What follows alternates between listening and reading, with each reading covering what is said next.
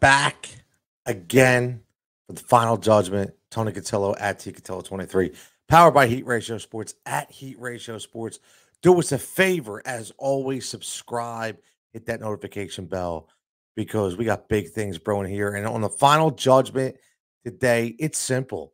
It's two words Cooper Kupp. That's what we need to talk about. And when I decided to do these final judgments, it was all about what has really happened to catch our eye. And 122 catches, 1,600 plus yards, and 14 touchdowns. Is that not enough? Breaks the single season record tonight in franchise history for the LA Rams over 120 catches. That's more than Torry Holt and Isaac Bruce, breaking an NFL record of 10 straight games of 90 plus receiving yards or more. And he's 30% better than any other wide receiver in every statistical category that matters. We are watching a historic season unfold. And with three games left, it's quite possible that he could hit that 2,000 yard threshold. I'll be honest with you, I did not see this coming. I really didn't. I, have been on record saying that once Matthew Stafford came over to the Rams, that I thought the biggest beneficiary was going to be Robert Woods. I just I knew Cooper Kupp was good, but to say he was elite, I, I wasn't ready to do it.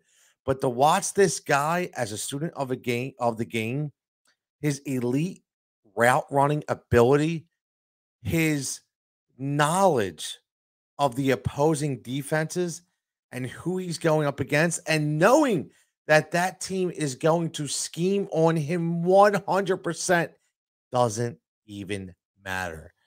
This kid is electric. It really is. And we talked about earlier Isaac Bruce and Torry Holt. Think about that. The greatest show on turf when you had Kurt Warner at the helm, Marshall Faulk in the backfield, and Torry Holt, Isaac Bruce, Azeem. That's who you were looking at. And the Reverend and Isaac Bruce, he was so nonchalant but just got it done. Torry Holt, obviously the flashier wide receiver who did a lot more, but Cooper Kupp is both of them. He really is. And if you look at the NFL right now, we we've gone through stages of number one wide receivers. And last year it was Stefon Diggs, who again, another guy nobody seen coming. We knew he was good in Minnesota, but we always thought he was benefiting from a guy named Adam Thielen. And then he went to Buffalo, became the top dog, and showed it didn't matter if teams were going to scheme on him. He was going to continue to pick up the pace and set records. And the judgment today, the final judgment, I should say, is Cooper Kupp is elite. And I, I dare anybody to tell me that he's not. And when we see receivers like this, they have to be mentioned. In Philadelphia, you see my wall in the background. You know I'm a Philadelphia guy. But you know, we we've seen the receivers in Philadelphia. I you know, I cry every time I think about what Cris Carter could have been here in Philadelphia. Although he had to get clean, right? He had his issues and he was able to revitalize his career in Minnesota.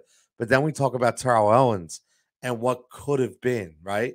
What could have been for Philadelphia, but what could have been is what is now, and that is Cooper Kupp for the Rams and my guy, Sean McVay. So I just want to leave you with this.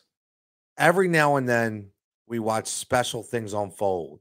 And I'll tell you what, this year, you know, we're, we're talking about Jonathan Taylor could be the MVP. And again, we're talking about him having a season like Marshall Faulk in 2006 for his MVP run.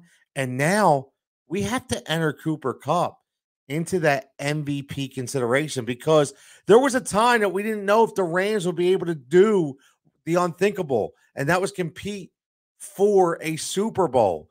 And then they picked up the pace. And you know why they picked up the pace? Because they have Cooper Kupp. So Cooper Kupp needs to put his name in that hat and get some MVP recognition. But again, we're going to leave you with this the Cooper Kupp is elite. And that is the final judgment.